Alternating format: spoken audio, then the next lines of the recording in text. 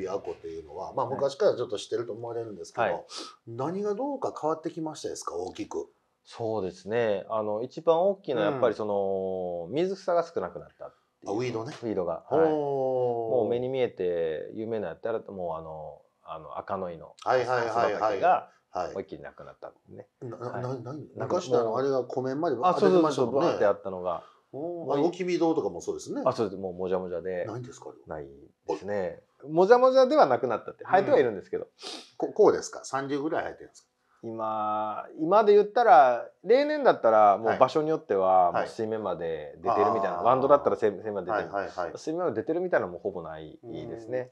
はい。うわーじゃなくてじゃあバッチになってます。あ、その通り、その通り。あやっぱりそそうですかの通りですね。あはい生えてるビードの種類もやっぱり変わってきたというか。あそうなんですね。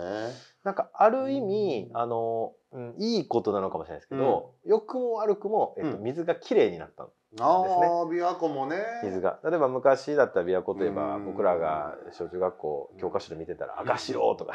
うんうんうん。まああのうん。な載ってたりしましたけど、まあ、ある程度ねその、やっぱ養分が豊富な悪く言えば汚いあのうん。湖だからそういうのがあったりしたんですけど、そうですね。今はまあそういうのがきれいになりすぎてしまって、うん。だから生えてる水草も昔はやっぱりこう大体ダモとかねあの理科の実験に使う、あれって大体ダモってうん。よく考えたらこう家の近くのこうドブとかにこう生えてたりとかねするようなそうですね。水草がまあビアグにバーって生えてたけど、それがやっぱりなくなっちゃったと。そう私らも船はい。下ろせない時期ありました。あうん臭くて。はい、臭いんですよ。とにかく臭いんですよ。はい。はい。うん。やっぱき汚い方が魚にとっては、まあ養分豊富でね。はい、うん。まあ汚いという言い方もあれかもしれませんけど。あ琵琶湖もそうなんですか。はい。なんか噂に言ったらギルがあんまりいないと。ああそうですね。あそうなんですかやあっぱり。減りましたね。だから昔はもうとりあえずどこでもうん。ワーム投げればうん。ギルバイトですね。はい。はい。まあ今もなくはないんですけど。あまあ場所がこうなんかここどはもう狭かったりとか、あうん、ギルバイトもない日も全然あるぐらあいそうですか。はい、いうぐらいブルーギルが少なくなうん。った代わりにうん。今だったら、えーで今年はコアユもちょっと少ない。ああ。ただモロコはいっぱいいると。あモロコが増えました。今年はモロコがもうだから本当にこうそれも含めてはギルが少なくなったっていうことは、まあおそらく琵琶湖全体の多分魚の数もやっぱりちょっと減ってはいると思うんですけど、バスの数はやっぱり減ってますか？数はそうですね。あんまり認めたくないけど、うん。やっぱり減ってるとは思います、は個い、体は大きくなってます。そうなんですよ。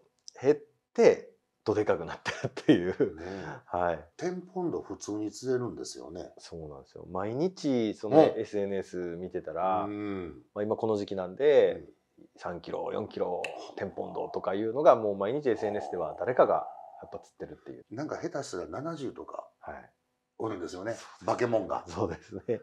たまにおかっぱりの人が釣ってこうちょっとあの SNS がザザってなってるあれ？のが結構しょっちゅうやってるから。あれあれね見られます？やっぱりボートで上から見てこうニューッと行くところ。なんか上から見てもなんかもうこんなんなんかそうですよね。はい、やつが。ブーですよね。はいそうです。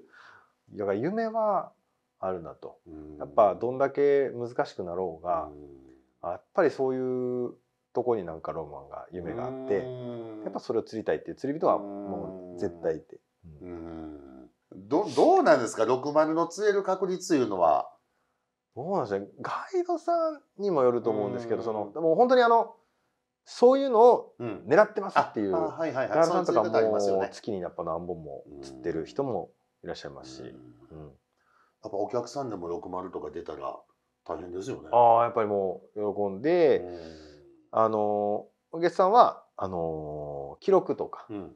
60初,、うん。初めての60とか、うんうんうん。うん釣ったらもう剥製するっていう方がいらっしゃって、白製そう剥製はあ。で今僕ミックバスクラブってところなんですけど、うん。その釣って持って帰ってうん。なんか電話したら、うん。あの剥製屋さんがはい。取り,、取りに来てくれて。ね。はい。まあ、そういう楽しみ方もあるようなと、はい、思いますね。ね。一緒に一回出会えるか出うん会えんかの魚なんで、琵琶湖はでもすごいポテンシャル持ってますよね今いやーは。本当に。うん。夢はもうずっとありますね。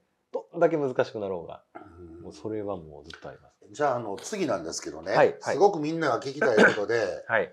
えー初心者の方もしくはちょっとおかっぱり始めた方たちから見るとね、バスボートって夢じゃないですか。はいそうですね一度は乗ってみたい。はいましてねガイドを受けてみたいガイドサービスいっぺん行ってみたい、うんでも絶対みんなやっぱり怖いわ、ねはい。なんかどうしていいかわからんとはい。多分ホームページとかまで行くと思うんですよ、はい。はい。そうですね。あえて電話するんですか？メールですか？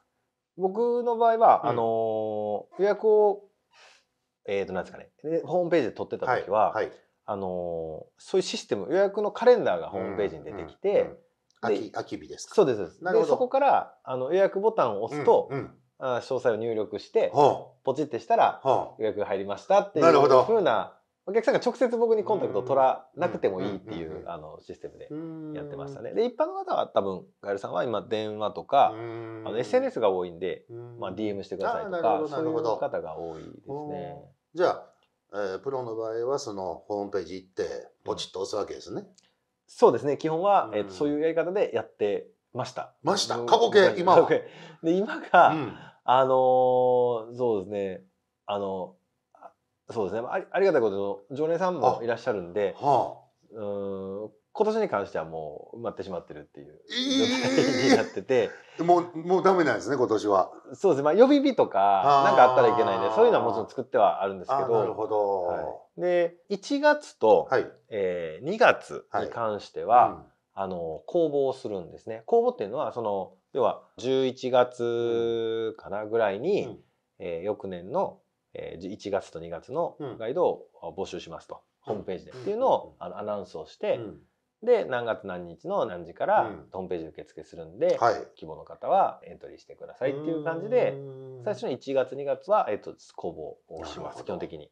もちろんねあの古い常連さんもあの、まあ、いらっしゃったりはするんですけどうん。で12月に、はい。まあ、その新規の方がこう来てくださると。やっぱはいはいはい。12月ってすごい難しい、うん。もう寒いしね。はい、もう小声で終わるみたいな時もあるんですけど。ボートで走ってる場合じゃないですもんね。そうそうですね。ん。でそこに来てくださった方さすがにその冬1回でうん「お疲れ様でした」ってうん終わるのは僕も嫌だなと、うん。こんな寒い時期に来てくれたんで、じゃああの他のシーズンもどうですかっていうことで希望があればその日を取っていくと。うん。あと他の古いお客様がうん。ずっと昔からのお客様がいらっしゃると。であとは、えっと釣り具屋さんお世話になってる釣り具屋さんとか、うん。あとハイラップだったりそのメーカーさうんの、えースタッフさん店員さんだったり、その人たちからの、うん。えー紹介。この人をちょっとガイドしてもらえないでしょうかっていう風な感じので、うん。えっとほぼ1年が生まれてるっていうあーなるほどね。感じですね。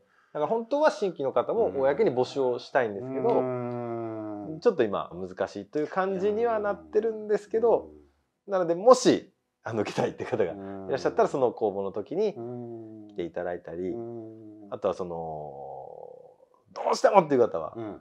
どうだろうな。例えば DM とかでうん。あの熱意をなるほど。伝えていただけ。熱意をくれと。はい本当にそうですね。もう誰でも彼でも来たいですっていうのも誰でも彼でもっていうとちょっとうんあの確かにあのはい難しい体一つですもんね。そうなんですよ。何人かいらっしゃっていですよねね。本当に365日琵琶湖におればいいですけどそうじゃないですもんね。はい。他のこといっぱいありますからね。そうですね。ああじゃあ体一つの体でもちろん常連さんも大事にしなダメですし。そうですはいでもあれですよね一般の方を受けたいっていう気持ちは本当あると思うんですよ、はいはい。だから11月ぐらいからホームページに掲載されるんですか？それは。12月の1月はそうですね。11月のま、そうですね。ぐらいに大体募集を募集をかけて。で1月2月のガイドを受けに行くと。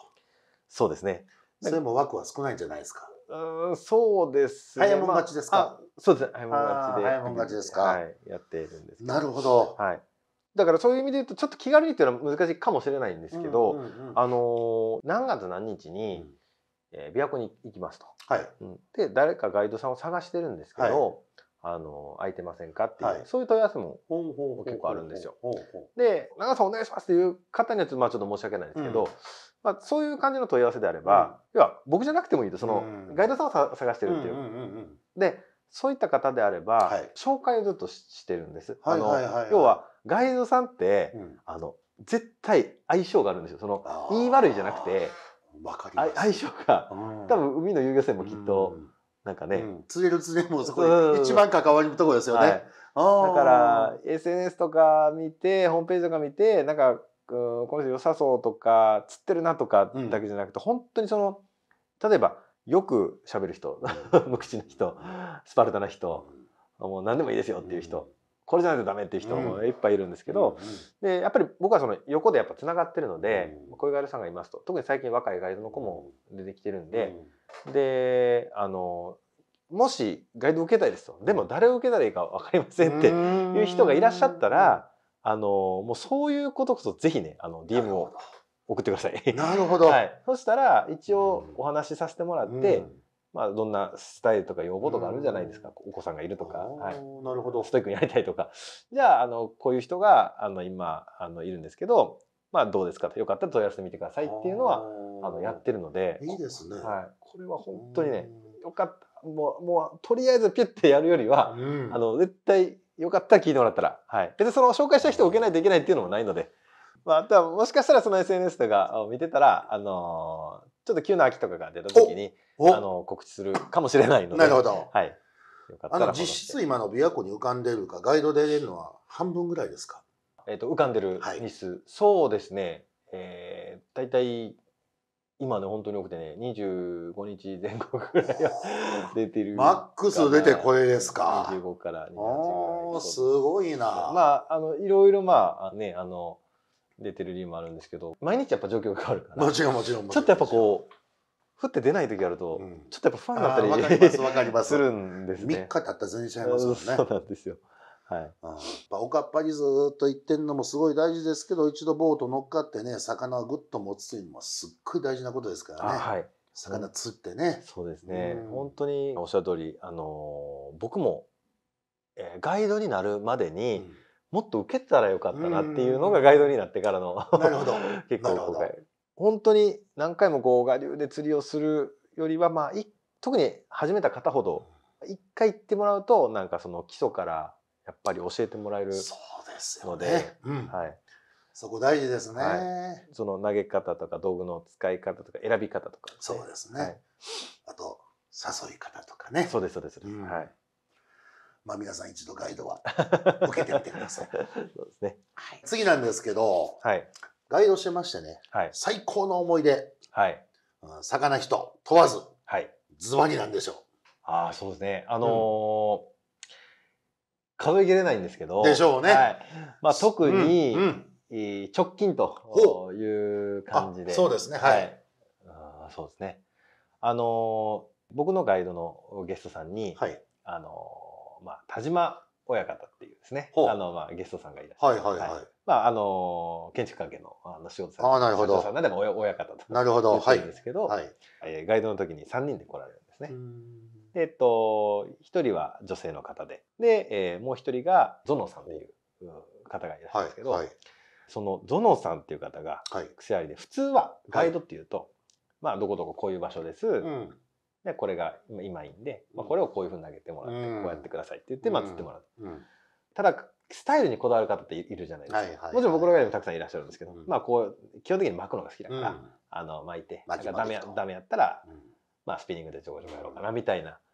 ただそのゾノさんが、もう桁が違いすぎて、もう一切、その巻きしかしないというゲスト巻きに徹する。巻きに徹する、であのー、みんなが巻く時だけ巻くだったらいいんですけど、うん、もう普通に底物の、そこのね、ゆっくりじっくりした釣りを他の船でやる、これをやりたいって言ってる時でも、いやもういいんですって言って、巻く。巻く。だから、なるべく場所をね、荒らさない方向で投げてるんですけど、だからどんな時でも巻くしかないと。で、結論、あの、釣れないわけですよ。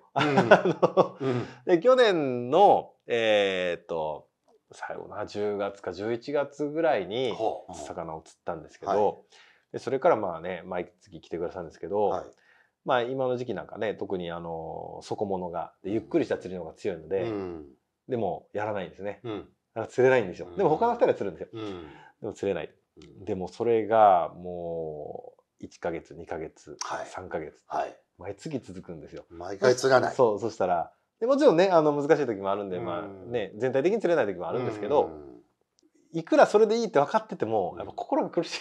わけですよ。いやまあ分かるけど、だからなんかこれやってくれないかな、これやったらもしかしたら釣れるかもしれないんだけどって思いながらやって、まあ、なかなか釣れなくて、まあそれが本当11月釣れなくて11月12月1月2月3月、うん、5か月ぶりぐらいですかねに、もうあ大雨出るでしかもあの中止にしようかなって思う雨予報だったんですよ。そのレベルでね。そうそうです。でも雨や雨ですけど、今その薪の薪でちょっと釣れてた時期のその周りの船とかも、はいでもしかしたらゾノさんがワンチャンあるかもしれないし、あの親方ちょっと雨辛いのは分かるんですけど、ちょっとまあやりましょうというふうに親方を説得して。言って、来て出てそしたらもうその日の午前中にもうドンと。来た。ついに。巻物に。巻物に。もうついに来て、はい、なんですかね船ってやっぱ3人釣れたら賑やかになるんですけど一人だけ釣れないと その帰りの車とかねなんか微妙な空気になるじゃないですか。僕はもうね離れてるんでいいですけどなんかそれもなんか思うとなんか辛いなって思ってたんですけど、まあ、その時に本当に雨の午前中にお昼前ぐらいのタイミングで、もう今日難しいかなって思いながらよそ見してたら後ろから「来た!」って。言っていうのがあってもうその時にもうはしゃいではしゃいでっていうのが感動してねちょっと涙がああポロリと。出そうなずっと、はいいう、はい、感じに大雨の中でね。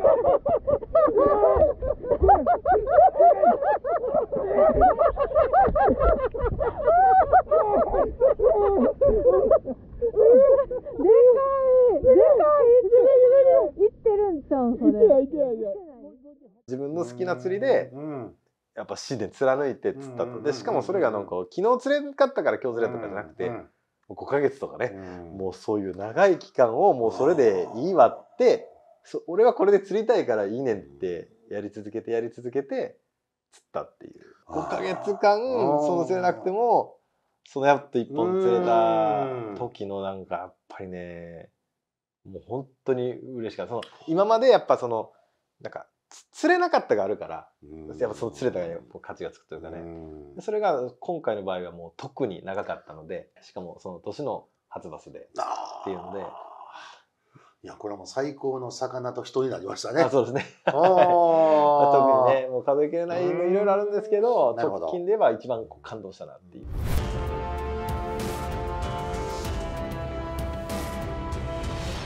今流行りで言ったらやっぱウニ。ウニ。ウニ。ギル型ワームの元祖がこのスタッカーワイドっていうワームなんですね。まあ今回押したいのはやっぱりまあ自分が作ったあスタッカースタッカー。右手にはマッカ。で左手には高菜を持ってで全国歩きたいなと。